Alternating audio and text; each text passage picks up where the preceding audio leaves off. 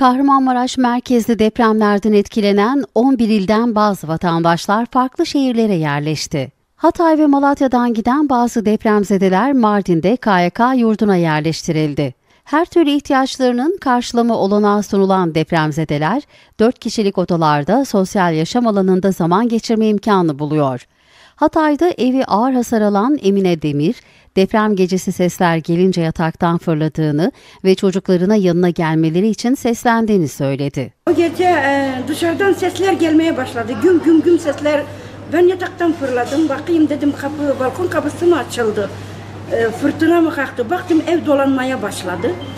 E, dolap üstüme geldi. Anladım deprem olduğunu. Çocuklarımı çağırdım. Yanıma koşun, yanıma koşun. Kapının arkasındayım. Küçük kızım yanıma ulaştı. Öbür kızımla öbür oğlum öbür odada kaldılar. Elektrik kesildi. Çok zor durumdaydık yani.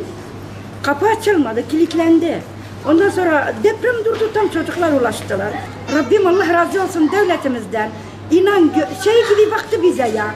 Sanki depremi unutturdular bize. Çok iyi yedik, içtik. Giyiz verdiler, eğlendirdiler, gezdirdiler, baktılar.